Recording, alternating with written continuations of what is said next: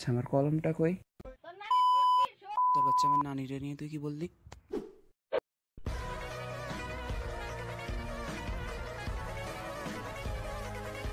এই মজাই তো লাগে আর একটা মারতো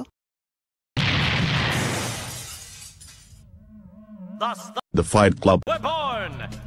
First of all আমি কয়দিন আগে এই ফাইট ক্লাব মুভি দেখছি। সবাইকে রেকমেন্ডও করতেছি মুভিটা দেখার। তো তোমরা অনেক আগেই দেখে ফেলছো বাট যদি দেখে না থাকো তাহলে তুমি ডাম্প তো মুভি দেখতে দেখতে আমার হঠাৎ মনে পড়ল, আরে থ্রিতে পড়তে তো আমরা আন্দাজে একটা ফাইট ক্লাব বানিয়ে ফেলছিলাম।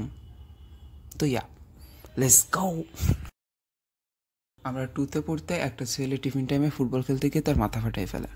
তারপর আমাদের টিফিন টাইমে বাইরে বের হওয়া ব্যান করে দেওয়া হয়। তো আমাদের টিফিন টাইমে বোরিংভাবে বসে বসে মেয়েদের আমার নাম মিতা, চলে দেয় ফিতা, খেলা দেখা ছাড়া আর কিছু করার ছিল না। তো ইয়া খুব বোরিং কাটতো সময়টা। But until we discovered something fun আমাদের ক্লাসের পাশে আর একটা ইমটি রুম ছিল। তো মি অ্যান্ড মাই বয়েজ কোনো রিজন ছাড়া ক্লাসের রুমে গিয়ে গল্প করতাম করতাম। আর ইয়া এসব বাট হঠাৎ এক আমার দুই দূর সম্পর্কের বন্ধু মারামারি শুরু করে দিচ্ছে ক্লাসরুমে সরি আমি ওদের নাম ভুলে গেছি, কারণ ওরা আমার দূর সম্পর্কের বন্ধুইও না তো সবাই রেসলিং খেলার মতো ওদের নাম চেঞ্জ করতে থাকে। আর ওরাও যেন অনেক মজা করে মারামারি করতেছিল। তো আমরা সবাই ওদের সাথে মারামারি শুরু করে দিচ্ছি উইথাউট এনি রিজন আর এটা আমাদের প্রতিদিনের টিফিন টাইমের অ্যাক্টিভিটি হয়ে গেল। আর মজার ব্যাপারে, আমাদের খেলার রুলগুলোও প্রায় সেম ছিল ফাইট ক্লাবের সাথে। One on one match private party মারা যাবে না। প্লেয়ার সারেন্ডার বলার সাথে সাথে খেলা শেষ। ম্যাম আসলেও খেলা শেষ হতো। দুইবার ম্যামের কাছে মারও খাইছিলাম আমরা।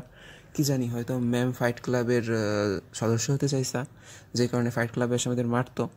বাট নো ওয়ামেন অ্যালাউড বইন আর ইউ নো সব থেকে গুরুত্বপূর্ণ rule You do not talk about Fight Club. আমরাও টিফিনের পর তেমন কোনো দ্বন্দ্ব রাখি নাই, আবার পরের দিন টিফিন পিরিয়ড কখন আসবে তার ওয়েট করছি। আর রেসলিংয়ের মতো আমাদেরও ছদ্মনাম ছিল। এবারে তৃতীয় শ্রেণির ছাত্র হিসাবে আমরা সবাই ছিলাম অ্যাভেঞ্জার্সের ফ্যান আমি ছিলাম হাল্ক এর মানে এই না আমি মোটা ছিলাম। আমি ছিলাম স্বাস্থ্যসম্মত গিগা চ্যাড আমি ছাড়া সবাই প্রায় রোগা পটকা ছিল। আর ক্লাস টাইমে আমিও ব্রুস ব্যানারের মতো ইনোসেন্ট ছিলাম। তো ইয়া আয়রন ম্যান ছিল জিম থর ছিল সাব্বির যাকে আমরা হাতুড়ি ম্যান বলতাম সেই টাইমে সৌহার্দ্য ছিল ক্যাপ্টেন আমেরিকা, যাদের কারোর সাথে বর্তমানে আমার কন্ট্যাক্ট নাই। কজ আমরা ভিন্ন স্কুলে পড়ি। আর I miss you guys I miss smashing you guys যাই হোক লাইফ ওয়াজ গুড কিন্তু হঠাৎ করে কীভাবে এক বছর হয়ে গেল আর আমরা ফোরে উঠে গেলাম। আর ফোরের ক্লাসরুম থেকে ইমটি ক্লাসরুমে যাওয়া অনেক টাফ ছিল। কদিন নিজেদের ক্লাসে ফাইট করতাম বাট কারা যেন মারামারি করতে গিয়ে একটা মেয়ের গায়ের উপর পড়ে যায় দেন সেই মেয়ে ম্যামের কাছে নালিশ দেয় আর ফাইট ক্লাবের দি এন্ড তারপর আমরা আবার ফাইভ পর্যন্ত মেয়েদের আমার নাম মিতা চলে দিই। ফিতা খেলা দেখে কাটাই দিলাম।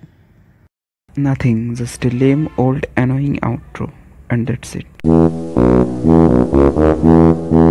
hey what's up hope তোমরা ভালো আছো। অ্যাসাইনমেন্টের ঠেলায় নতুন ভিডিও বানানো অনেক টাফ হয়ে যাচ্ছে। তারপর আবার আর স্কুল খুলে দিছে। তারপর আবার সবাই বলতেছে যে সে পরীক্ষা হইলেও হইতে পারে। তো হ্যাঁ আমি অনেক প্যারাই আছি।